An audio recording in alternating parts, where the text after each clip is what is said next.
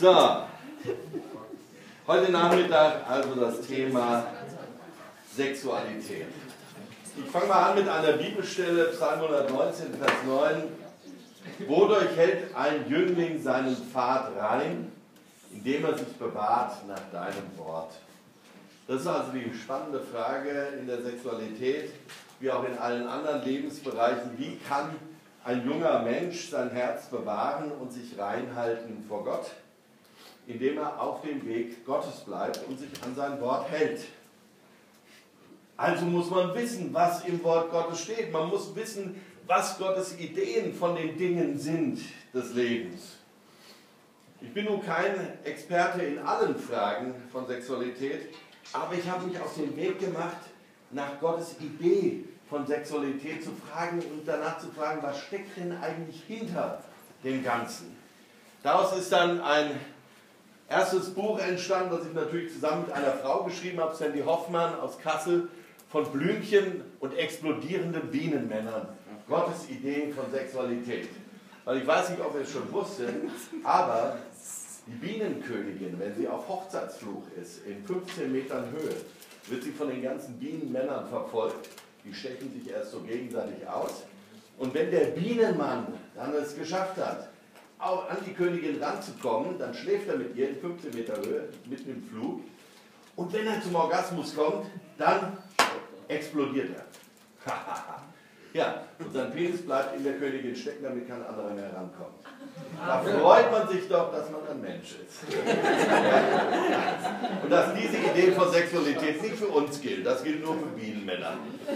Deswegen haben wir das so genannt, weil man wird ja immer so äh, in Aufklärungsgeschichten immer ja von den Bienchen und Blümchen. Ja.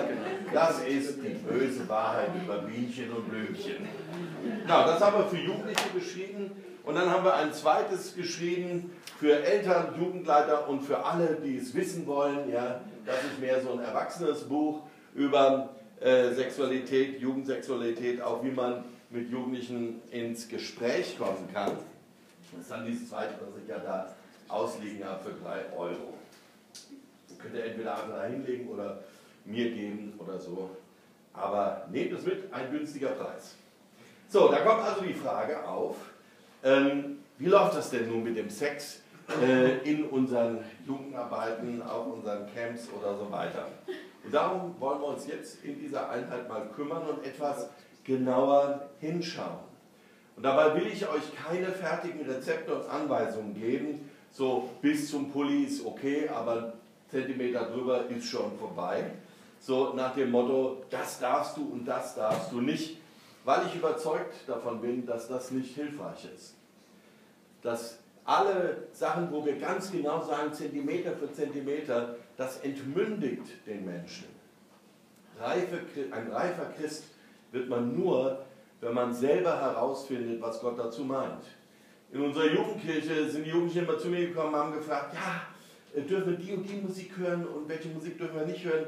Sag ich, weiß ich's, Habt ihr eine Gottesbeziehung? Fragt selber euren Herrn. Ne? Ihr müsst nur jederzeit äh, in der Lage sein, mir zu erklären, warum die Musik, die ihr hört, nicht gegen Jesus gerichtet ist.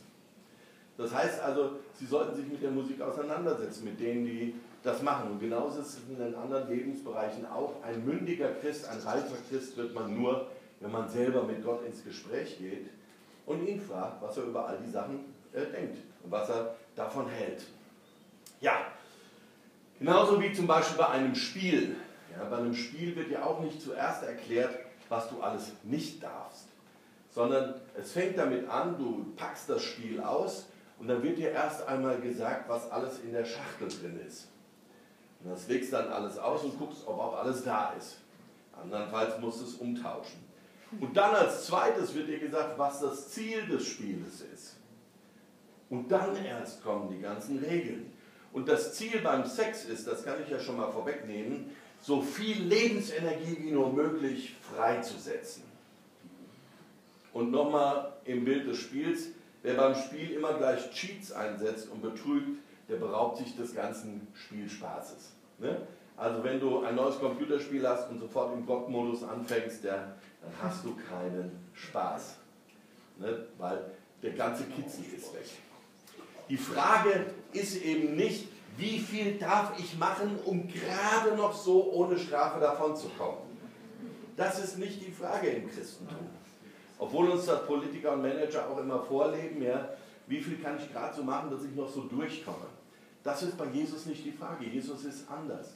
Jesus will uns ein herrliches Bild von, von der Welt vor Augen malen und uns sagen, wozu das alles gemacht ist. Und so auch in der Sexualität. Und deswegen ist es gut, miteinander ins Gespräch zu kommen und Fragen zu stellen. Äh, kann man in der Jugendgruppe fragen, wer von euch ist denn schon aufgeklärt worden? Gute Einstiegsfrage, alles kichert, alles lacht. Ja. Dann fragt man, gut, wer hat euch denn schon mal aufgeklärt? Gemeinde, Schule, Eltern, dass man schon mal so weiß, woher kommt das? Und dann die spannende Frage, wie oft seid ihr aufgeklärt worden? Also ich bin in der Schule, glaube ich, fünf oder sechs Mal aufgeklärt worden. Immer wenn denen nichts einfiel, ja, dann haben sie gesagt, wir machen mal wieder Sexualität. Ja.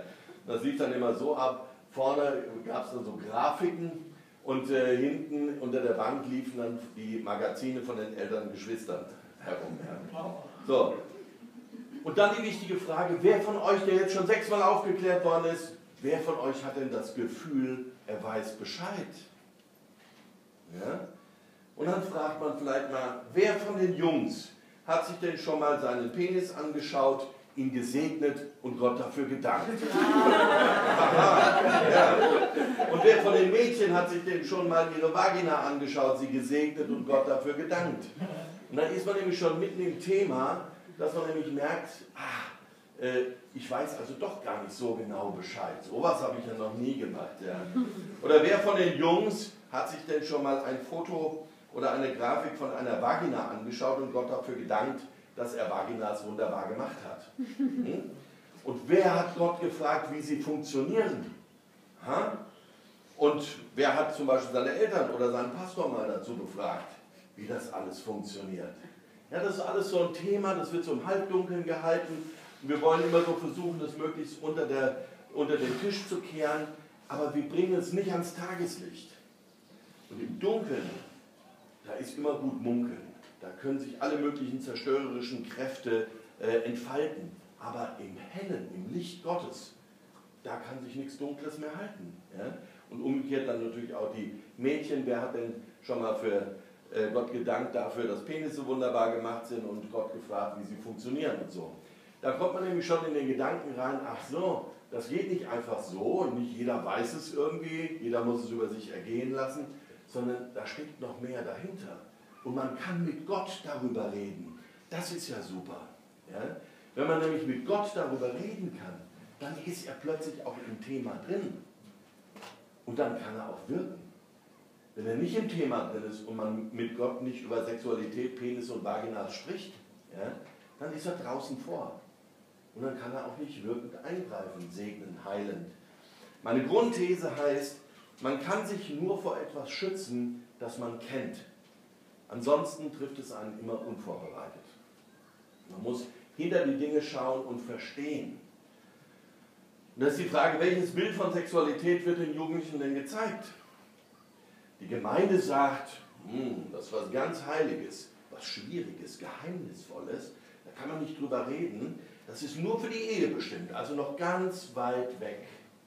Das ist das, was wir oft in der Gemeinde hören. Die Öffentlichkeit dagegen sagt, super, es ist immer da, sofort verfügbar, jederzeit. Es ist schön, es bereitet Lust, es macht ansonsten gar nichts mit dir und deiner Persönlichkeit, sondern du kannst es einfach mal so drauf losmachen und wenn du schwanger wirst, dann kannst du ja abtreiben. Sex gehört einfach zur zwischenmenschlichen Kommunikation dazu und ist fast so banal wie Händeschütteln. Und zwischen diesen beiden Extremen bewegen sich jetzt unsere Jugendlichen. Ne? Solange sie mit uns zusammen sind, hören sie das eine, sobald sie den Raum verlassen, hören sie das andere. Also ist es wichtig zu fragen, welche Bilder habt ihr von Sexualität? Was ist denn eurer Meinung nach Sexualität? Und unsere erste Botschaft muss immer sein, Sexualität kommt von Gott. Das ist so geplant gewesen. Also kann man auch damit umgehen. Wenn Gott es geplant hat, dass Sexualität in der Welt ist, dann kann man auch damit umgehen. Denn Gott ist zwar allmächtig, aber er ist nicht alldoof. Gott schafft keine Steine, die so schwer sind, dass er sie nicht wegheben kann. Denn warum sollte er das tun? Das ist ja diese beliebte Frage. Kann Gott einen Stein schaffen, der so schwer ist, dass er ihn nicht wegheben kann? Da frage ich immer, warum sollte er das tun? Er ist allmächtig, aber nicht alldoof. Ne?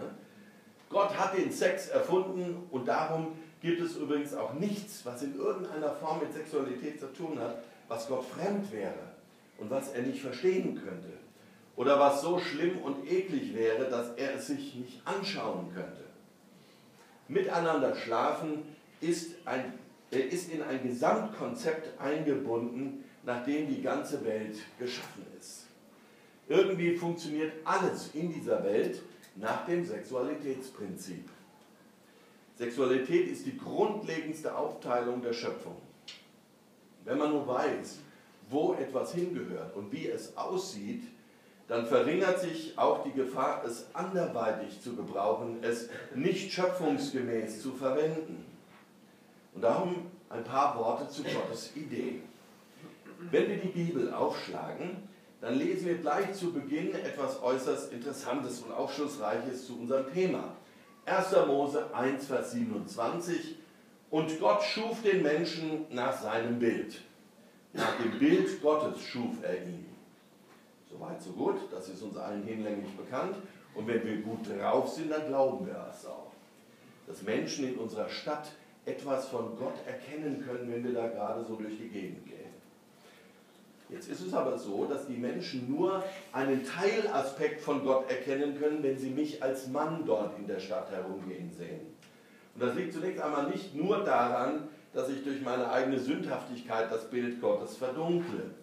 Es liegt daran, dass ich ein Mann bin und als Mann nur einen Teil von Gottes Bild ebenbildlich widerspiegle. Erst wenn ich mit einer Frau zusammen in der Stadt auftauche, dann könnten die, Mönch, die Menschen den ganzen Gott zum Großteil sehen. Denn der Vers 1. Mose 1, Vers 27 geht noch weiter. Und Gott schuf den Menschen nach seinem Bild nach dem Bild Gottes schuf er ihn, als Mann und Frau schuf er sie. Gott hat uns als getrennte Wesen erschaffen. Und das lateinische Wort Sexus heißt tatsächlich zunächst einmal ganz einfach nur getrennt. Der erste Aspekt unserer Gott-Ebenbildlichkeit, der in der Bibel genannt wird, ist also ein sexueller Aspekt, ist unsere Geschlechtlichkeit. Und das ist doch verblüffend. Zumal wenn man sich so unsere christliche Realität anschaut und unseren rigiden Umgang mit Sexualität. Das Erste, was wir von Gott widerspiegeln, ist unsere Geschlechtlichkeit. Männer und Frauen spiegeln gleichberechtigt unterschiedliche Aspekte Gottes wider. Und überall da, wo wir Frauen den Zutritt zu bestimmten Ämtern und Ebenen im Leib Christi verwehren, da verdunkeln wir Männer das Ebenbild Gottes in der Welt. Und die Menschen können nur halb so viel von Gott erkennen. Zu Gottes Idee von Sexualität gehört es, dass Jungen und Mädchen schon von ihrem Geschlecht her darauf spezialisiert sind, unterschiedliche Aspekte von Gottes Wesen in dieser Welt wiederzuspiegeln. Und da Gott durch und durch gut ist und es keine besseren oder schlechteren Anteile Gottes gibt, ist klar, dass jede Abwertung eines Geschlechts meilenweit von Gottes Idee von Sexualität entfernt ist. Der andere Gedanke, der hier in 1. Mose 1, Vers 27 drinsteckt, ist, dass Geschlechtlichkeit auch ein wesentlicher Bestandteil Gottes selber ist. Denn es ist das Erste, was erwähnt wird, was Menschen von Gott widerspiegeln. Gott ist nicht geschlechtslos. Gott ist männlich und weiblich. Vielleicht ist er noch mehr, aber er ist auf alle Fälle das. Deswegen offenbart er sich uns ja auch in unterschiedlichen Personen, die etwas mit Geschlechtlichkeit zu tun haben. Gott der Vater, der die Welt geschaffen hat und sie seitdem erhält für Gerechte und Ungerechte, hat auf alle Fälle etwas Männliches. Gott der Sohn, Jesus Christus, ist auch männlich. Da brauchen wir auch nicht drüber reden. bleibt noch eben der Heilige Geist übrig, der am Anfang über den Wassern und dem ganzen Tovabo schützend schwebt oder brütet, wie das Wort eigentlich heißt, der später als unser allmächtiger Versorger beschrieben wird, als der El Shaddai, was genau übersetzt heißt Gott der Vielbrüstige. Und weil er viele Brüste hat, kann er uns auch komplett versorgen, weil er so viel zu geben hat. Das heißt El Shaddai. Und von Jesus schließlich wird erzählt, dass er, äh, wo er mit Nikodemus in dem Gespräch ist, und da sagt er zu ihm, Nikodemus, du musst von neuem geboren werden. Sagt Nikodemus, wie soll das gehen? Soll ich vielleicht in den Leib meiner Mutter zurückkriechen? Ich dachte, nein, du musst durch den Geist neu geboren werden. Und da die beiden Aramäisch gesprochen haben, hört Nikodemus, du musst durch die Geistin neu geboren werden. So, und dann macht das Bild ja auch Sinn, wenn man das so versteht, dass Nikodemus das so gehört hat und Jesus das so gesagt hat.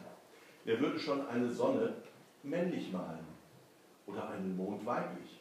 Die Sprache, die wir sprechen, beeinflusst die Vorstellung davon, äh, von etwas, das wir, äh, die wir von dem Ding haben. Und so müssen wir uns das auch vorstellen. Jesus hat immer, wenn er von dem Beistand, vom Tröster, vom Geist geredet hat, hat er weiblich gesprochen. Als es ins Griechische übersetzt wurde, wurde es zunächst mal nicht männlich, sondern sächlich. Topneuma ist einfach ein sächlicher Begriff. Da geht es um die Kraft Gottes. Da wurde lange erstmal darüber diskutiert und die Frage gestellt, ja, kann man eine, die Kraft Gottes überhaupt anbieten? Ist der überhaupt ein Bestandteil der Dreieinigkeit? Ist der überhaupt eine Person? Ja, und als sie dann gesagt haben, ja, eine Person ist er schon, dann haben sie gesagt, aber dann eine männliche Person. Ja. Da haben wir jetzt einfach drei Männer. Und immer wenn ich darüber predige in Gemeinden, dann passiert immer ganz lustig, nach der Predigt kommen die Männer zu mir und sagen, ach, ist doch egal, männlich, weiblich, was soll's.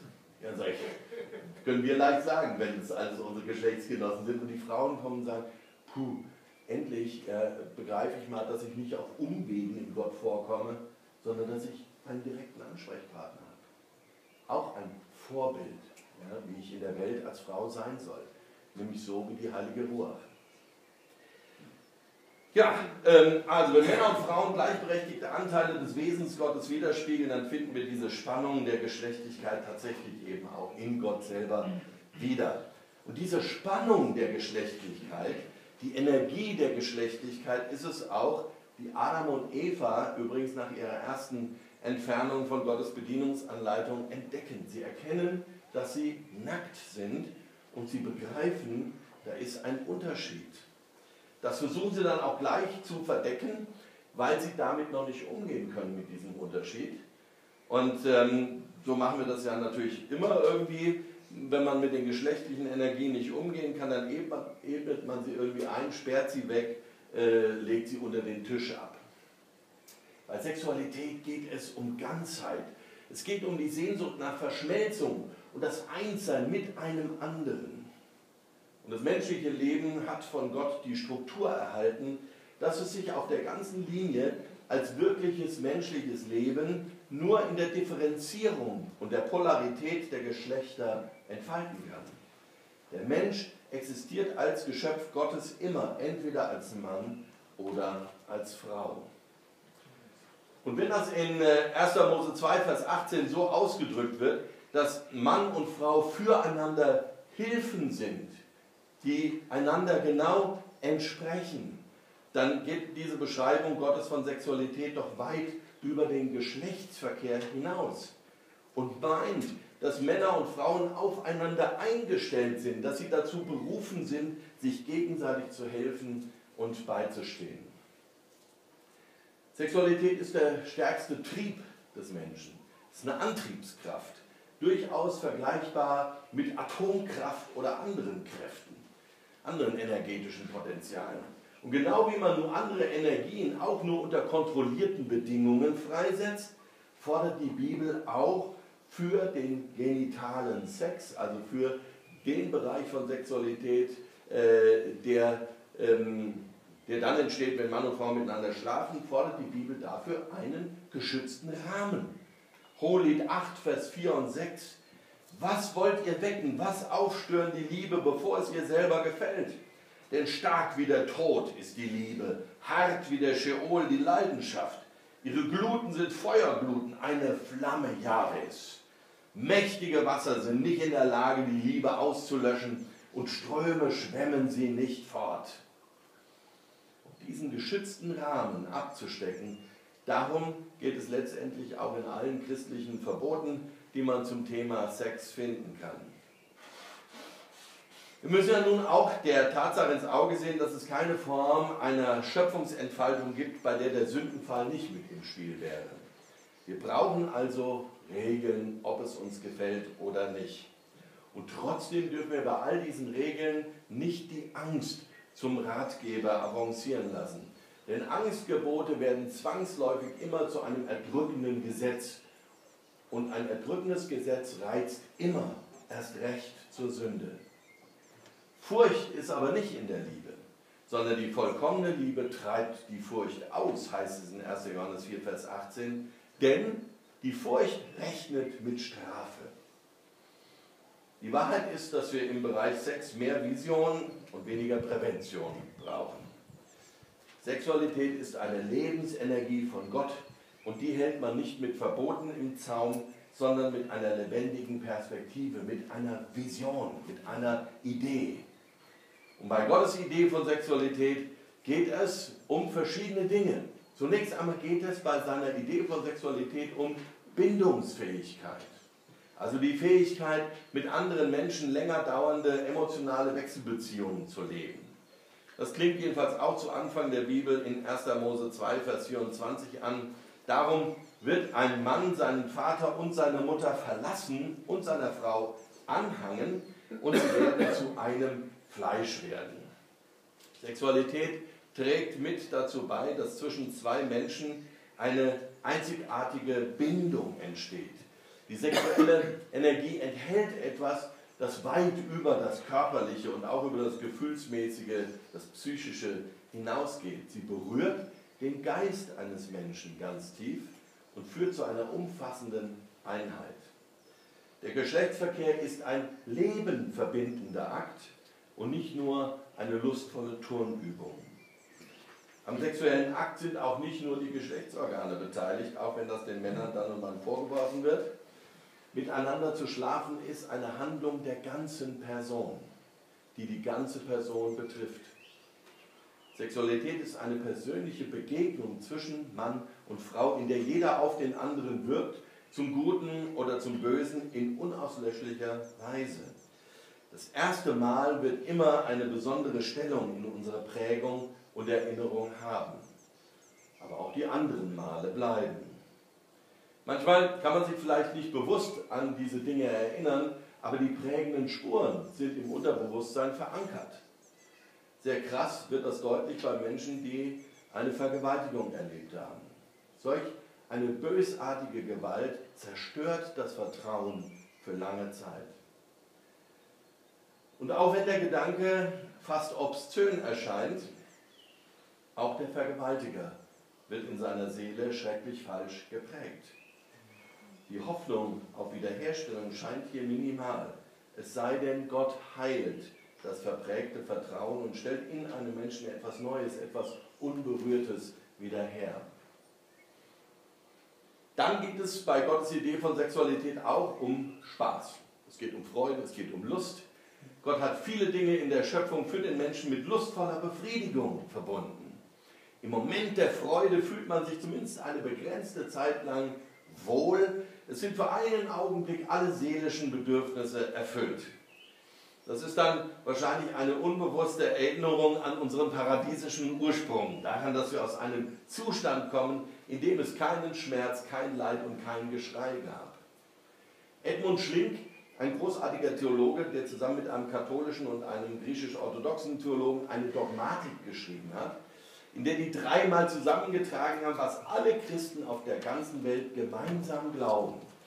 Dieser Edmund Schlink, übrigens der Bruder von Basilea Schlink, von den Marienschwestern, der sagt, die ganze Schöpfung hat nach Überzeugung der Christen zwei grundlegende Bestimmungen. Das erste Ziel der Schöpfung ist die Ehre Gottes. Und das zweite Ziel der Schöpfung ist, dass die Geschöpfe glücklich werden. Alles andere ordnet sich diesen beiden Zielen unter oder ist zweitrangig. Es hätte doch auch gelangt, wenn Gott uns bei der Schöpfung räumliches Sehen in Schwarz-Weiß eingebaut hätte. Aber nein, er gab uns die Fähigkeit, Farben zu sehen und uns an den Farben zu erfreuen. Auch die Nahrungsaufnahme hätte rein zweckmäßig gestaltet werden können, aber Gott gab uns die Möglichkeit, uns mit Riechen und Schmecken an der Zufuhr von für den Betrieb des Körpers notwendiger Energie zu erfreuen. Und selbst das Ausscheiden von unerwünschten und unbrauchbar gewordenen Substanzen aus dem Körper dürfen wir in Gottes großer Gnade lustvoll als einen Akt der Befreiung genießen. Gott hat das Leben also nicht nur funktional eingerichtet und die Sexualität macht da keine Ausnahme. Freude ist ein eigenständiger Bestandteil von Sexualität, den man auch eigenständig genießen darf. Paulus hat diesen Sachverhalt einmal einem Jugendlichen extra in einem seiner Briefe erklärt. Er schreibt an Timotheus in 1 Timotheus 6, Vers 17, setzt eure Hoffnung auf Gott, der uns alles reichlich darreicht zum Genuss. Und kurz davor in Kapitel 4 erklärte Timotheus, dass alles, was Gott geschaffen hat, gut ist und nichts verwerflich, wenn es mit Danksagung genommen wird.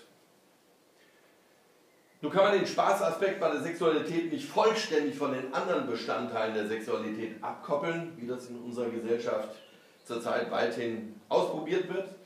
Die scheinbar sorglose Machbarkeit von sexuellem Spaß ohne Reue täuscht. Es geht immer um das ganze Paket. Alles hängt irgendwie miteinander zusammen. Kein Bestandteil von Sexualität kann alleine für sich wirklich vollständig erfüllen. Es gibt noch andere Bestandteile von Sexualität. Es geht bei Gottes Idee von Sexualität auch um die Möglichkeit, mit dieser Lebensenergie, die aus der Spannung zwischen den getrennten Geschlechtern entsteht, schöpferisch tätig zu werden. So, vielleicht hast du dich auch schon mal gefragt, wir haben auch ein bisschen darüber gesprochen äh, vorhin, wie Nonnen und Mönche das eigentlich hinbekommen, auf partnerschaftliche Sexualität zu verzichten. Erleben Menschen, die nicht mit jemand anderem schlafen, keine Sexualität? Wohl kaum. Wenn sie doch von Gott in unsere Gene eingebaut worden ist, die Sexualität, dann ist die Frage, worin besteht sie oder worin zeigt sich Sexualität in einer solchen Lebenssituation? Sex bringt kulturelle Leistungen hervor. Viele Kunstwerke entstehen aus der im Künstler aufgebauten sexuellen Spannung. Dieses Energiepotenzial entsteht durch das Umwandeln von sexueller Betätigung, was man Sublimierung nennt. Sublimierung ist die Umwandlung sexueller Energie in eine geistige Leistung. Enthaltsamkeit ist also keine unnatürliche Lebensweise und sie hat vor allem nicht nichts mit Sex zu tun. Ich habe mal ein Interview mit Lenny Kravitz gelesen. Da sei, man sagt ja, Lenny Kravitz sei einer der größten Rockmusiker und eine Ikone unserer Zeit. Und in diesem Interview sagt er, er verzichtet schon seit drei Jahren auf Sexualität, weil er auf die richtige wartet. So. Und in der Zwischenzeit ja, bekommt er durch seine aufgestaute Sexualität ja nur keine Pickel, wie man das so manchmal sagt, sondern er schafft wunderbare Musik. Mönche, Nonnen, Singles wie Lenny Kravitz und auch Jugendliche leben also ihre Sexualität nur eben auf eine andere Art und Weise. Eine gute Verbindung von geistlichem Leben und sexueller Spannung könnte unserem geistlichen Leben zum Beispiel eine neue Kraft und Leidenschaftlichkeit schenken. Bei Mystikern des Mittelalters kann man das so gut sehen, dass die Kraft der sexuellen Leidenschaft die Liebe zu Gott beseelen und prägen kann wenn es gelingt, Sex weder auszuagieren noch zu unterdrücken. Das müsst ihr einfach mal lesen, ja, wie die, wie die Gott, wie die Liebeslieder an Gott schreiben, ja, und wie wunderbar und herrlich sie uns Gott vor Augen malen. Bernhard von Clairvaux zum Beispiel, ja, äh, wenn er seine Liebesgedichte an Jesus schreibt, hammermäßig, ja. Wenn man dann noch bedenkt, dass er leider seine Gabe auch dazu benutzt hat, die Kreuzzüge anzufachen, äh, sieht man Licht und Schatten nicht immer so dicht beieinander bei vielen von uns. Der Verzicht auf die sexuelle Vereinigung mit einem Partner kann also die sexuelle Energie umwandeln, sodass sie zum größten Ansporn wird, sich ganz und gar mit Leib und Seele Gott hinzugeben und sich in Gott hineinfallen zu lassen, um eins zu werden mit Gott, mit allen Menschen, ja mit der ganzen Schöpfung. Die Aufgabe bestünde darin, sich regenden Sex immer wieder als Ansporn zu nehmen, sich nach dem Gott auszustrecken der die Sehnsucht, die sich im Sex ausdrückt, erst in ihrer ganzen Tiefe zu erfüllen vermag. Und dann ist es natürlich offensichtlich, dass, Gott, dass es auch Gottes Idee war, mittels der sexuellen Vereinigung neues Leben entstehen zu lassen. Nachdem aber die Kirche in der Vergangenheit diesen Aspekt zum einzig Möglichen hochstilisiert hat, ist die Gegenbewegung unserer Tage durchaus verständlich. Seid fruchtbar und mehret euch, ist aber immer noch der erste Auftrag Gottes an uns Menschen in 1. Mose 1, Vers 28. Einige halten hier Petting oder Analverkehr für eine Lösung, sich diesem Auftrag zu entziehen und sich da herumzulavieren. Aber selbst da kann ein vorwitziges Spermium seinen Weg machen. Grundsätzlich besteht immer die Möglichkeit, dass man vom Sex schwanger wird. Sexualität verfolgt nicht nur das Ziel, Bindung aufzubauen, Spaß für eine gewisse Zeit zu haben und gewaltige Kunstwerke zu schaffen, sondern strebt letztendlich auch die Weitergabe unserer Gene an und damit die Entwicklung unserer Gesellschaft. Bei Gottes Idee von Sexualität geht es auch um unsere Zukunft. Jeder Sexualkontakt zieht letztendlich darauf ab. Das wird jetzt gleich bestätigt. Denn man muss den Jugendlichen sagen, keine Verhütungsmethode ist hundertprozentig sicher. Selbst wenn Mann und Frau sie korrekt anwenden. Ja, aber bestimmt doch die Pille. Auch die Pille ist nur 98%ig sicher. Ach, das reicht mir. Ja, und wenn du die zwei triffst, der goldene Schuss, Pech gehabt. Willst du damit leben. Man muss immer mit der Möglichkeit der Fortpflanzung rechnen und sich fragen, ob man dafür schon reif genug ist. Wenn man miteinander schläft, muss man sich darüber klar sein, dass ein Kind entstehen kann und sich mit der Frage auseinandersetzen, ob man dafür die Verantwortung tragen kann. Und darüber muss man auch mit den Jugendlichen immer wieder sprechen und ihnen das ins Bewusstsein rufen. So ist das Leben. Und da kann man nicht einfach sagen, ja, nee, aber das will ich nicht, das ist ja blöd. Das ist die falsche Antwort. Das Leben ist so, wie das Leben ist. Und es kann immer ein Kind entstehen, wenn du mit jemand anderem schläfst. So, das ist so eine Vision. Das sind so ein paar Aspekte von Gottes Idee von Sexualität. Und alles, was dieser Vision Gottes widerspricht, das ist Porneia. Das ist Pornografie. Das ist Unzucht. Dabei will ich euch aber sagen, Pornografie zeigt niemals zu viel. Pornografie zeigt immer zu wenig. Wenn wir mal Angst, oh, wenn die das sehen, ja, da sehen die ja viel zu viel, da sehen die Dinge, die sie gar nicht sehen dürfen. Pornografie zeigt nie zu viel, sie zeigt immer zu wenig, weil sie keine Ahnung hat von der Vision Gottes, von Sexualität. Pornografie kann immer nur das alte Rein-Raus-Spiel zeigen und das war's. Pornografie kann Turnübungen zeigen, aber kann niemals Sexualität zeigen, weil sie keine Ahnung von dieser großartigen Vision Gottes hat. Und meines Erachtens beeinflussen Pornofilme die Menschen viel weniger als jede Vorabend-Seifenoper-Sendung, jeder Krimi und jede Liebesschnolze. Denn diese scheinbar so harmlosen Fernsehsendungen prägen unterschwellig, ohne dass wir das mitbekommen, ein Bild von Beziehungen und Beziehungsaufnahme, sodass wir es kaum mitbekommen und dann eben auch so schwer wieder loswerden. Wir müssen einfach mal die Krimis und die Filme angucken, die schon um 16, 17 Uhr laufen. In der öffentlichen Meinung ist Sex durch diese mediale Prägung inzwischen einfach ein Kommunikationsmittel, das mit anderen kommunikativen Körperberührungen fast auf einer Stufe steht. Film und Fernsehen haben über Jahre hinweg unser Unterbewusstsein dahingehend geprägt, Sex bedeutet Zuneigung zeigen. Das Schema ist ganz einfach. Zwei Menschen begegnen sich, verlieben sich, meistens auf den ersten Blick, Sie küssen sich und schon in der nächsten Szene liegen sie miteinander im Bett. So schnell geht das. Alles, was dazwischen kommt, wird nicht gezeigt in all diesen Seifenopern. Und während wir damit aufwachsen, verankert sich in uns die Schlussfolgerung, wenn ich den anderen mag und das echt und aufrichtig zeigen will, na dann schlafe ich mit ihm, so wie es im Fernsehen gezeigt wird.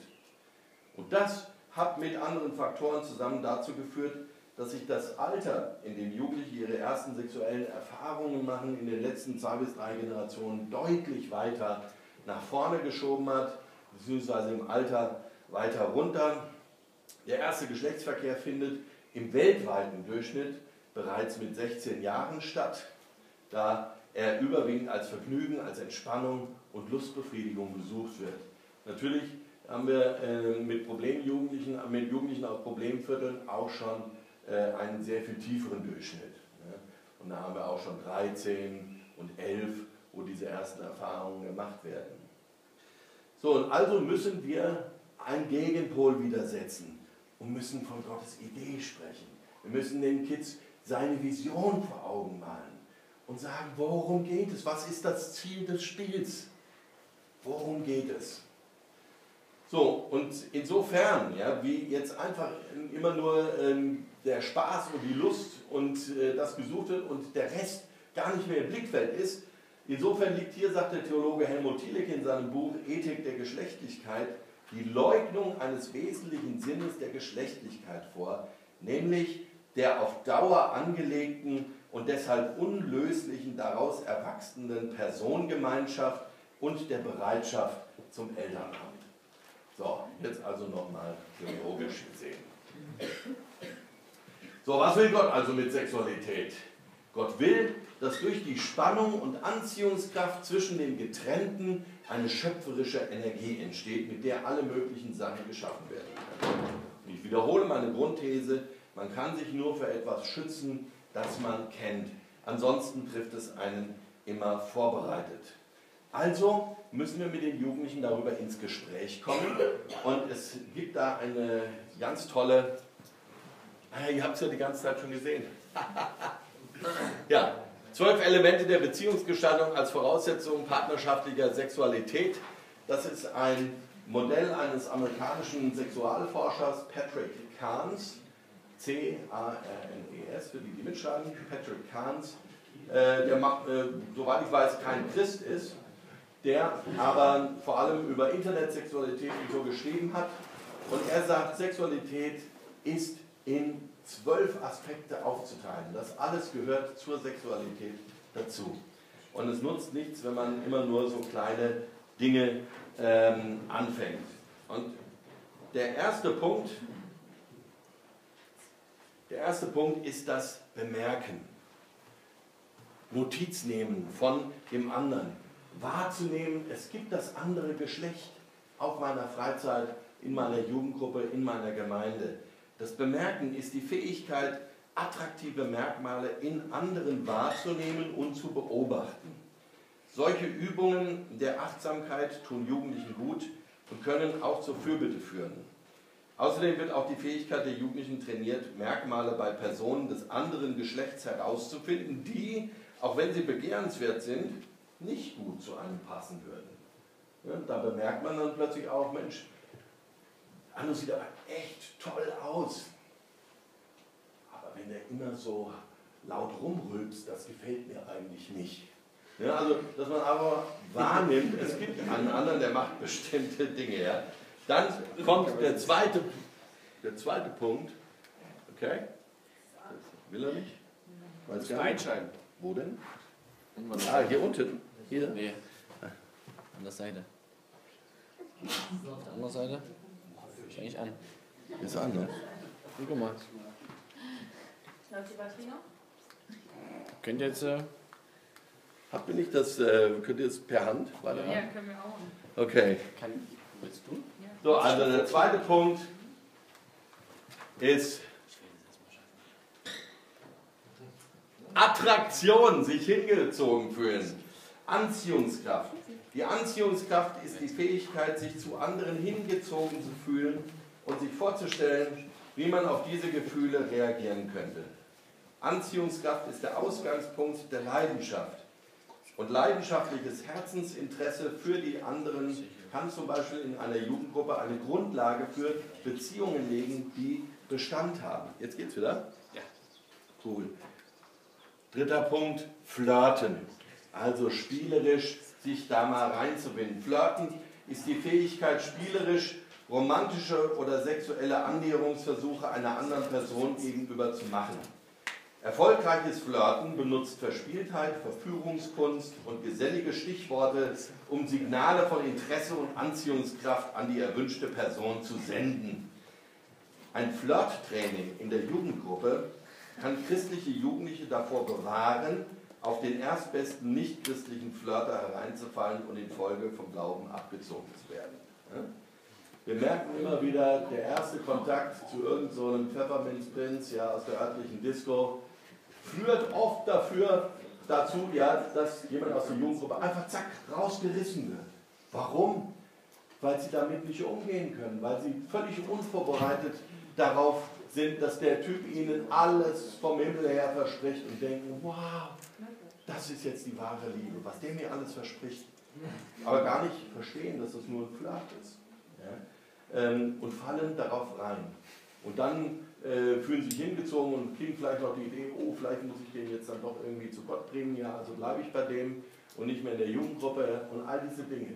Wären sie vorbereitet, indem wir Flirttraining in der Jugendgruppe machen, dann wären sie geschützt dann. Dann viertens, jetzt schon wieder weg. Da ist doch der Laptop, ne? Ja. Jetzt mag er wieder nicht mehr. Vielleicht ist die Batterie Vielleicht ist die Batterie doch langsam runter. Ja. Muss immer ein bisschen wärmen. Also, Demonstration. Ich zeige, wer ich bin, ich zeige, was ich habe. In der Demonstration produziert man sich vor dem anderen Geschlecht und zeigt seine Tüchtigkeit, also was man so alles drauf hat. In Bezug auf Sexualität ist es das klassische Ich zeig dir meins, wenn du mir deins zeigst Szenario. Demonstrationen beinhalten die Fähigkeit, ein Verhalten zu demonstrieren, wie zum Beispiel athletische Möglichkeiten oder Varianten, sich zu kleiden, um eine andere Person anzuziehen. Das im Schutz der Jugendgruppe eingeübt könnte helfen, so manchen langjährigen Single zu verhindern. Ja, wenn man schon mal in der Jugendgruppe eingeübt hat, wie man sich so anderen mal zeigt, ja, wie man so mal seine besonderen Merkmale auch äh, hervorbringt. Dann schließlich fünfter Punkt, Romanze, Atmosphäre. Die Romanze schließlich ist die Fähigkeit, Leidenschaft zu erfahren, auszudrücken und zu empfangen. Romanze setzt die Fähigkeit voraus, sich der Gefühle von Anziehungskraft bewusst zu sein, von Verwundbarkeit und Risiko. In der romantischen Phase ist die Fähigkeit, die Realität unserer Gefühle zu testen, beinhaltet. Sind die Menschen, die wir als romantischen Partner auswählen, eine durchweg geeignete oder ungeeignete Wahl? Ist das, was wir in oder an der anderen Person wahrnehmen, zutreffend oder ist es stattdessen nur eine Projektion von dem, was wir wahr sein lassen wollen? So, diese ersten fünf Aspekte von Sexualität, die kann man in der Jugendgruppe einüben, ohne irgendwie zu sündigen. Ja. Da kann man sich mal auf Gottes Idee von Sexualität hinarbeiten. Und erst jetzt mit dem sechsten Punkt wird es etwas schwieriger. Individualisierung. Ja? Jetzt stellt sich die Frage, wer bin ich, wer bist du? Ähm, jetzt äh, treffe ich mich öfters mit der Person. Ja? Das kann man nicht mehr mit vielen auf einmal machen. Ja? Das kann man auch nicht einfach spielerisch einüben. Jetzt kommt es schon mal zu ersten Beziehungen. Dann Punkt 7, Intimität. Das heißt, ich treffe mich mit einem anderen und ich vertraue ihm ein Geheimnis an. Etwas, was andere nicht von mir wissen. Um zu sehen, wie vertrauensvoll der andere mit dieser Information auch umgeht. Ja, jetzt fährt die Beziehung also schon in ein ganz besonderes Fahrwasser, nämlich in eine Einzigartigkeit. Äh, und dann kommt es schließlich Punkt 8 zu ersten Berührungen. Man wird berührt, ja, äh, erste Küsschen werden ausgetauscht, ja, man äh, tut man so, also die Männer machen es ja immer so, so. Oh.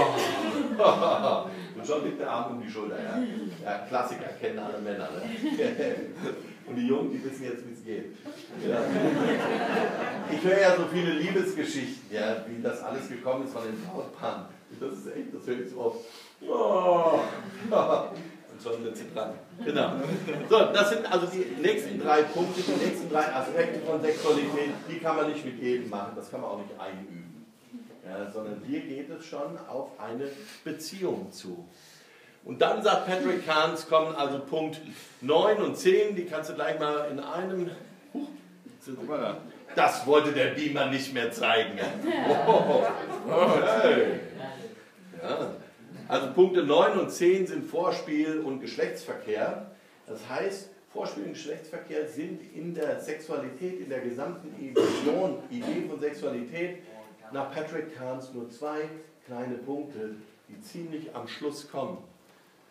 Und dann das Interessante ist, Patrick Kahns sagt, nachdem zwei miteinander geschlafen haben, ist immer die große Frage, trägt das, was wir gerade miteinander gemacht haben, trägt es auch eine Beziehung? Wir haben jetzt miteinander geschlafen, das hat sich gut angefühlt, aber trägt es eine Beziehung?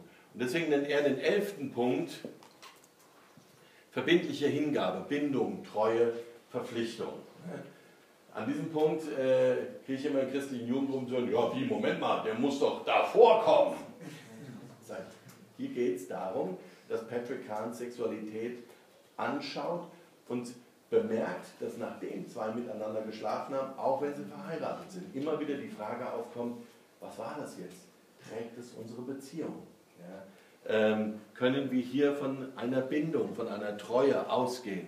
Und dann schließlich der Punkt 12, einer der wichtigsten Punkte, da schaltet der Beamer wieder weg, Erneuerung. Patrick Kahn sagt, die meisten Ehen scheitern daran, dass sie den Punkt 12 nicht verstehen. Ja, sie heiraten und sie sagen, prima, jetzt habe ich einen anderen im Sack. Der muss ja jetzt. Ich muss mich nicht mehr um ihn kümmern. Und daran stirbt alles. Der Punkt Erneuerung ist einer der wichtigsten Punkte in der ganzen Sexualität. Dass du immer wieder vorne anfängst und Notiz nimmst von deinem Partner. Und selbst wenn er abends nach Hause kommt und du weißt nur, der kommt nach Hause, der wirft seine Jacke dahin, der schmeißt die Tasche dahin und er kommt und der wirft seine Jacke dahin und schmeißt seine Tasche dahin und denkst wie jeden Abend, versuche zu entdecken, ob er an diesem Tag die Tasche 5 cm weiter links schmeißt. Versuche Neues zu entdecken in deinem Partner. Das ist das, was ich in, der, in den Paargesprächen immer wieder sage. Versuch Neues aneinander zu entdecken. Und dann geht davon aus und versucht den anderen wieder zu erobern. Verheiratet sein heißt nicht, du hast den anderen sicher. Das zeigen uns mindestens mal die Scheidungsstatistik. Ja? Sondern wir müssen immer wieder loslegen, auf den anderen zugehen. So, und so kann man, glaube ich, mit Jugendlichen, mit Jugendgruppen immer wieder ins Gespräch über Sexualität kommen, wenn man es mal so aufdröselt und wenn man immer wieder von der herrlichen Vision Gottes von Sexualität spricht. Was war das? War noch ein schönes Bild, oder? Ja, das kannst du ja mal stehen lassen, ja, das ist ja schön. Genau. Ja, das war's, was ich euch zur Sexualität sagen wollte. Und jetzt habe ich wie immer. Oh.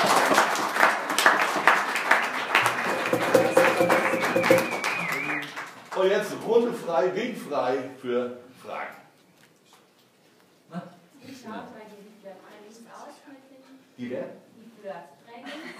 Ach, Flirttrainings. Ja, man, dass man einfach mal ähm, mit den Jugendlichen sagt, so, was könntest du denn dem anderen jetzt so sagen? Also wir probieren dann einfach, jeder zieht sich einen, besucht sich einen anderen raus. Ja? Und erst geht es ja mal los mit Notizen nehmen. Ja? Erstmal den anderen beobachten und äh, gucken, was hat er so drauf, ja?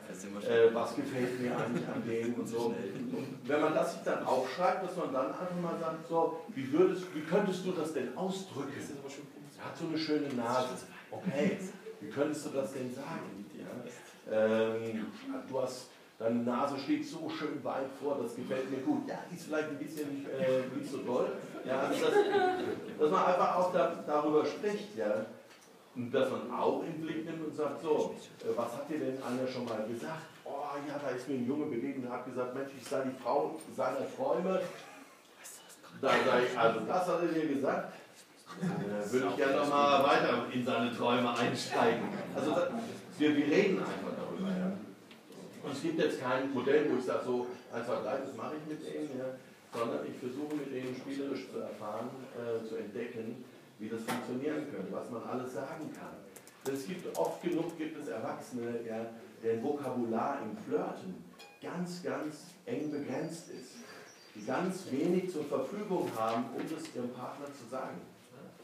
Und da eben der Kreativität freien Lauf zu lassen. Das ist so das Ziel. Ja, gut. Miriam? Ja, Ja. Okay, jetzt. Damit müssen wir einen Durchzug wegmachen. Ja, meine Bücher sind schwere, schwere Sachen.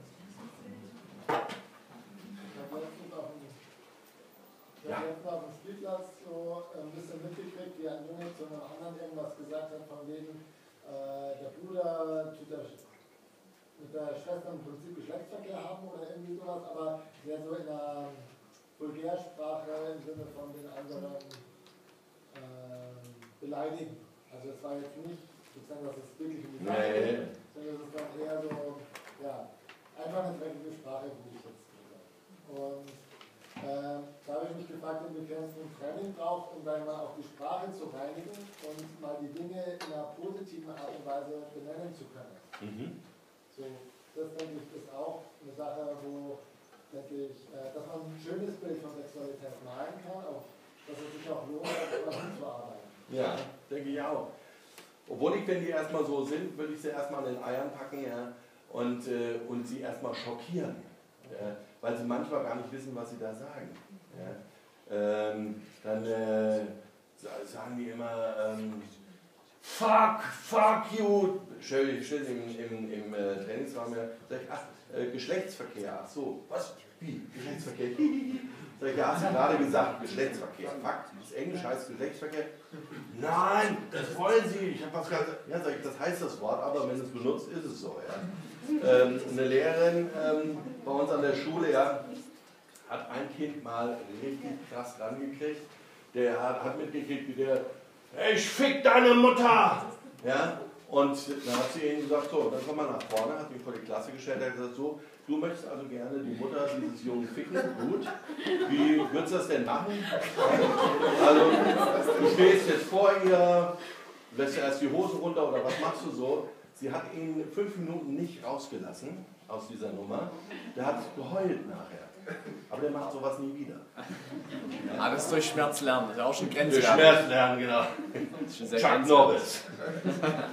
ähm, aber manchmal ist es wichtig, die so zu schockieren, weil sie sonst überhaupt nicht verstehen, was du meinst. Ja? Es ist für sie absoluter Alltag, absolut, ja.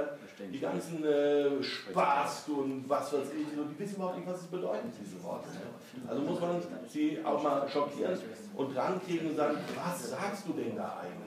Ja? Und äh, dann natürlich die ganze Hurensohn-Thematik ist natürlich auch schon krass. Der kennt deine Mutter doch gar nicht. Ist deine Mutter eine Hure? Nein, natürlich nicht.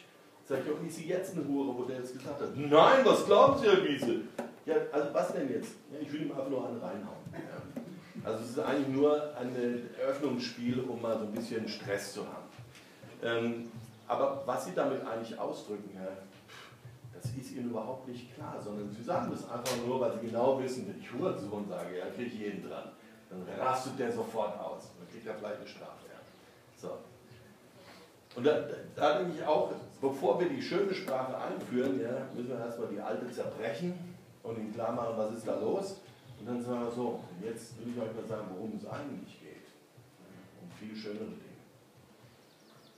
Das wäre so meine Idee. Ja. Ihr braucht jetzt einfach mal ein bisschen Luft, oder? Ja. Also, wie gesagt, ich bin ja immer da. Ihr könnt mich jederzeit ansprechen, ja, und alles fragen. Und ich übergebe an die Chefin. So schön, dass der Berlin das gesagt hat. Ja, ich mache das nicht so oft. Ähm,